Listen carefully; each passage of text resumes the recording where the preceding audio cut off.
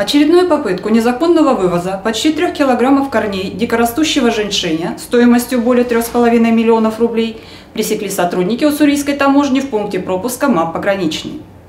При таможенном контроле багажа туристов внимание инспектора привлекли личные вещи гражданина КНР, выезжающего в Китай. После того, как таможенники попросили пояснить, что находится в его рюкзаке, поведение мужчины резко изменилось, усилилось волнение.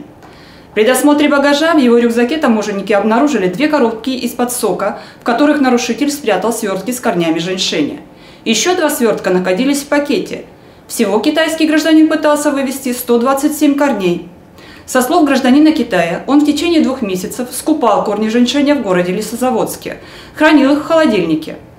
Понимая, что женьшень нельзя перемещать через границу, решил спрятать корни в коробке тетрапакеты из-под сока – Мужчина был уверен, что слой фольги внутри пачек надежно скроет их содержимое при таможенном контроле на рентгенаппарате.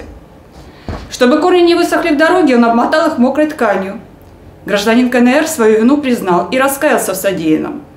По результатам дополнительных проверочных мероприятий правоохранительными подразделениями установлены признаки преступления и лица к нему причастные – в результате чего в отношении гражданина Китая возбуждено уголовное дело по части 1 статьи 226.1 УК Российской Федерации «Незаконное перемещение через таможенную границу в крупном размере стратегически важных ресурсов, корней женьшеня настоящего дикорастущего с сокрытием от таможенного контроля».